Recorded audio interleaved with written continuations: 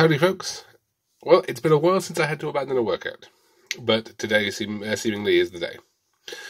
Um, got about half of it done. Um, got about half energy done. Got through to more or less the broken tables.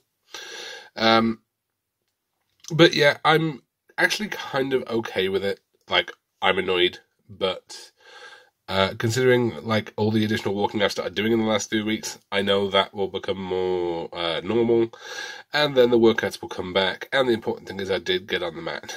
Um, on that note, slight um, bit of housekeeping because I said I was going to keep to the book, which says I would do Monday, Wednesday, Friday. I'm actually not going to do Friday. Um, certainly this week, and given the walking I'm doing is work related, probably not the week after either.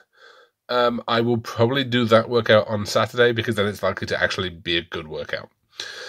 Um, and Monday wasn't bad, so I suppose I'm in a situation where the middle week workout is going to be kind of sucky for the time being. Um, but again, it's not going to be a permanent situation, so I will um, put up with the frustration and try and make sure I do keep getting onto the mat. Um, so until Saturday, folks, peace.